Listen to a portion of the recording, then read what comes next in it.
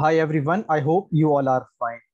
CMA Institute has opened the mock test portal. So now online you can practice for June 2022 examination.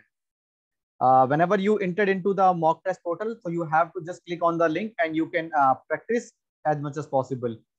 Uh, please also note uh, similarly, this is you can say inter final, please also check similarly. Foundation student still, uh, the student have to wait some more time you please note mode of exam uh, this uh, practice you can give from the laptop desktop mobile. But main exam you cannot give from the mobile. Tablet application for mobile and tablet. The candidate can attempt a different paper after five minutes of appearing in any one paper. Suppose you have appeared in any one paper so and you have submitted.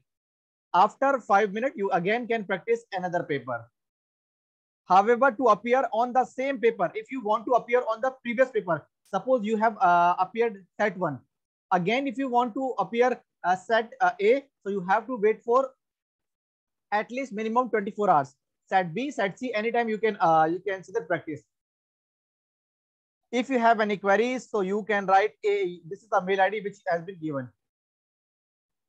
So this is the mail ID. So now practice mock test portal online. You are waiting for so many times. So now yes you can practice practice as much as possible. I can assure you that definitely this will benefit a lot to you. And also institute will also release the model test paper. If i get update so definitely i'll share with you. So you have any questions? You can ask me. But uh, now yes online mock test portal has been released by institute. Practice as much as possible. So this is all about from my side in this video. Still you uh, anyone has a query? So you can write uh, query in this mail id a a s India ICMAI support at the rate aon.com.